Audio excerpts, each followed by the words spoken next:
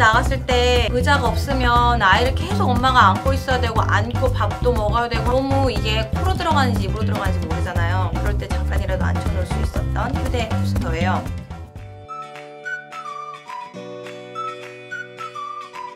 열어서 보면 좀 희한한 모양이 나와요. 이 뒤에가 이제 의자에 이렇게 설치가 되는 부분이에요.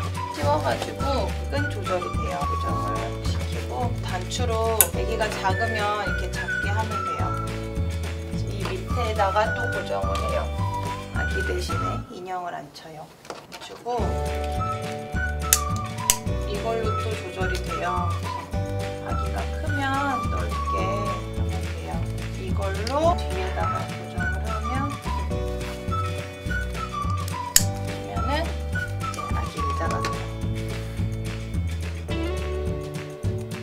제가 이거를 산 이유는 부스터나 하이체어가 없는 그런 곳을 갈 때가 있단 말이에요. 뭐 제가 부스터를 갖고 다닐 수도 없고 했는데 이게 딱 이렇게 휴대용으로 있길래 그때 사봤어요. 그리고 그때 쓰고 나선 계속 기저귀 가방의 필수 아이템이었어요. 사용 시기는 4에서 36개월이라고 돼 있어요. 100% 국내 생산이고 100% 천이라고 나와 있어요. 오픈 마켓에서 검색을 하면 쉽게 구매할 수가 있어요. 천이어서 쉽게 빨 수가 있어서 또 되게 좋았고요. 이 뒷부분이 이게 생각보다 되게 넓어요. 네모난 것도 되고 둥근 것도 다 들어가서 안 맞는 의자는 거의 없었어요. 밑에 의자 조절하는 부분이 있어요. 이걸로 단추를 이렇게 해야 되는데 급할 때 가끔 일일이 단추를 하려면 되게 오래 걸리잖아요. 그래서 그게 조금 불편은 했는데 이걸 똑딱이로 하면 아기들이 이렇게 가끔 힘주고 이렇게 할 때 탁 풀릴 수가 있어서 위험할 수는 있겠다는 생각도 들기는 했어요. 어쨌든 조절을 하는데 시간이 좀 걸리는 게 약간 아쉬웠어요.